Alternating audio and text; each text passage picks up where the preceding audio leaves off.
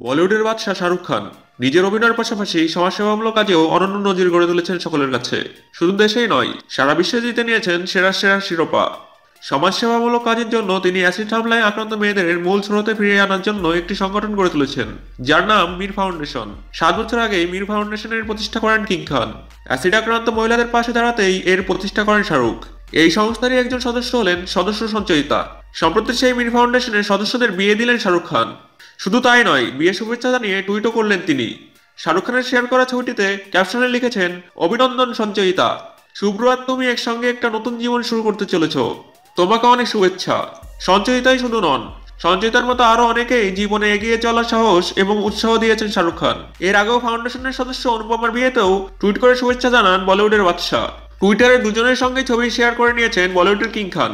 মীর ফাউন্ডেশনটিতে একশো বিশ জনের আপাতত রয়েছে, যার পুরো ব্যয়ভার বহন করছেন শাহরুখ খান নিজেই। অ্যাসিড হামলায় নষ্ট হয়ে গেছে কারও মুখের একাংশ, কারও বা চোখ, যাদের প্রত্যেকেরই এই মুহূর্তে নানা ধরনের অস্ত্রোপচার চলছে। সেই সমস্ত নারীদের বেঁচে থাকার লড়াই অনুপ্রেরণা এই মীর ফাউন্ডেশন। মীর ফাউন্ডেশনের অনুপ্রেরণায় বাংলার মেয়ে সঞ্চয়িতা ও শুভ্র বিয়ে দিয়েছেন বলিউডের কিং খান। তাদের আগামী নতুন জীবনের শুভেচ্ছা জানিয়ে সঞ্চয়িতা ও শুভ্রকে নতুন পথ চলার উৎসাহ এবং অনেক শুভকামনা জানিয়েছেন।